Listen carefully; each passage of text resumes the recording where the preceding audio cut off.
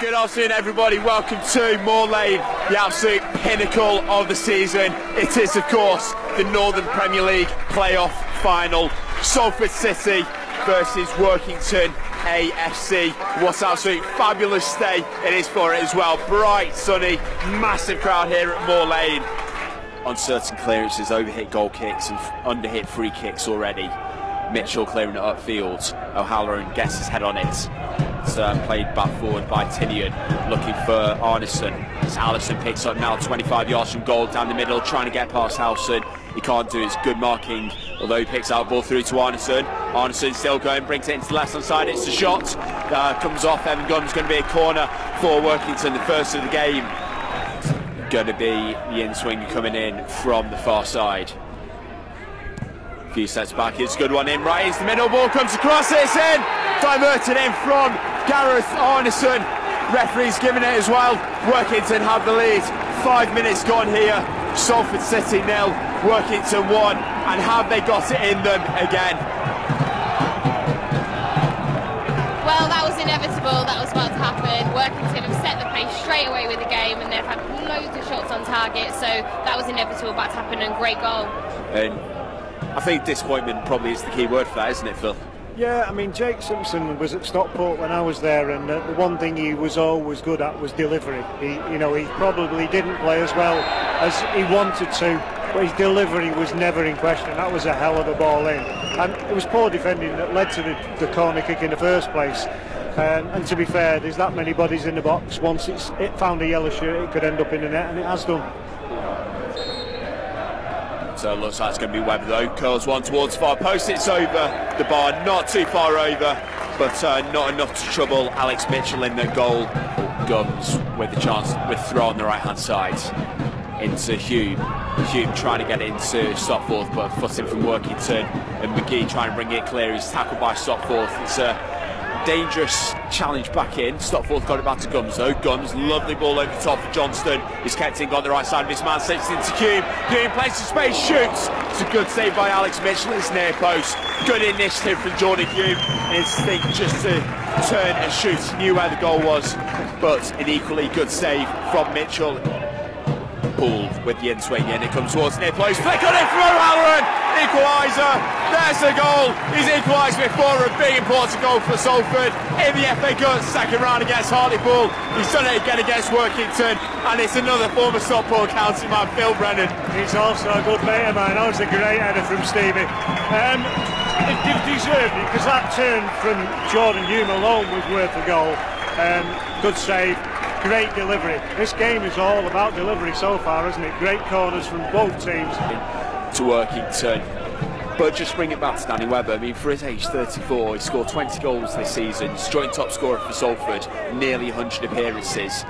And he's still thinking about retiring. Allison comes in, no! Completely threatened on Martin at back post. Gareth Arnison signing in.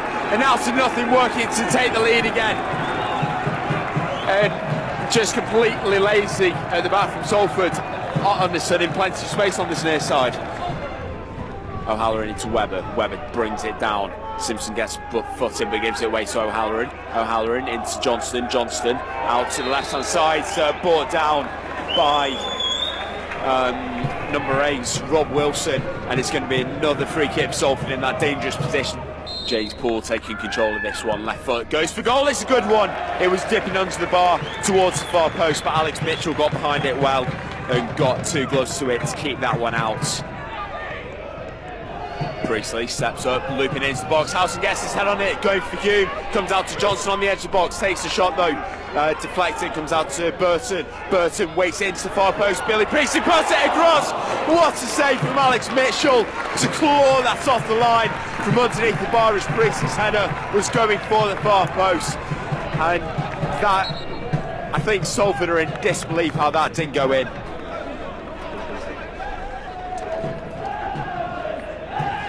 Tiff, what a save. That was a brilliant save by Workington. That really should have been a goal for Salford. James Poole looking to put the right delivery into the box. Workington lining up at the top there. Dropping off now. Poole, it's a good one right into the middle. Howson just for it comes Priestley. Again, head across the box. Howson going in for it, can't quite.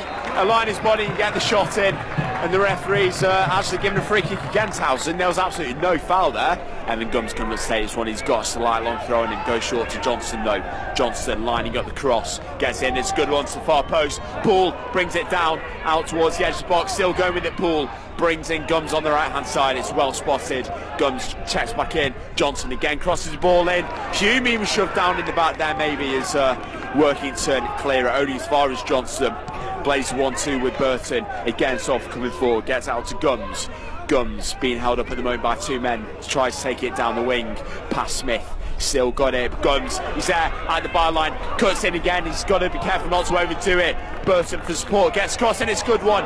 Webber rose for it. It's cleared again by Workington. Going as far as Johnson. Johnson over hits his ball back in. O'Halloran can't quite get on it and it's going to be a throw in for Workington flicks on Priestley coming across to beat Arnison's this one getting it forward. But it's given away again by Workington. Burton turns well. Calm and collected. Plays it back to Priestley. Priestley can play this ball over top taking on Paul's chest Paul goes to shot himself. Just wide the far post. Great initiative from Paul. He took it well on his uh, shoulder. Turned tried to loop it over Mitchell but he couldn't quite nestle it in at the far post. Um, Stephen O'Halloran picks up though, plays it into Webber on the left hand side now. Webber with the cross in. It's well cleared by Smith, only as far as Webber bringing uh, Gums into the game from right back. Salford trying to camp themselves in the Workington area. Gums, it's a great ball in. Uh, Mitchell caught it. Uh, going to be a free kick. It was a perfect ball in from Gums. It was actually going into the top corner. Mitchell caught it and uh, referee's now giving him a free kick after Priestley bundled into him. What a goal that would have been from the uh, Tranmere Oneida well, trying to hold on to that lead. They know that they threw it away against Blyth on Tuesday. It's uh, Mitchell picking out on Allison. Uh, gives the ball away to O'Halloran. O'Halloran giving the ball away. And it's played back over the top by Workington. And Allison bearing down on goal now. Allison goes to shot straight down Jay Lynch's throat. He was well positioned to close off the angle there. And it's a good save from the Salford keeper. Gets going immediately. Hulme heads on from Lynch's free kick. That would have been the perfect route one. He couldn't quite direct it on target. And this game's now going end to end. The fourth official having a word with Derek Townsley, asking him to uh, remain within his area. Poole in the middle of the pitch. Great ball out to left hand side to pick out Stephen O'Halloran. Salford streaming forward as they can now. O'Halloran cuts inside it into the box. Poor cross again. Only comes as Hulme. Hulme shot low. It's weak cleared by Workington out to this near side for a throw in. Priestley getting ready to take throw in meanwhile looping towards the near post. Uh, Halloran challenge for it. Comes out to Paul on the edge. Paul putting it straight back in. Cleared again by Workington. Paul challenging Hebson on the edge of the box. Stopforth gets out to Johnson though. Johnson cross in. Good one. It's my post Halloran. Gets his head on it. He's gone wide to far post. How's he missed it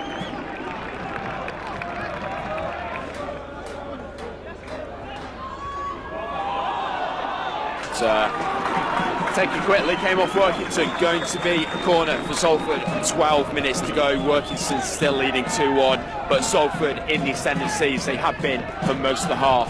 Clark into Gould in Priestley! Scores! Salford 2, Workington 2. It was a matter of time, and there it is, the equaliser, Billy Priestley, and what a vital goal that could be. Tiffany.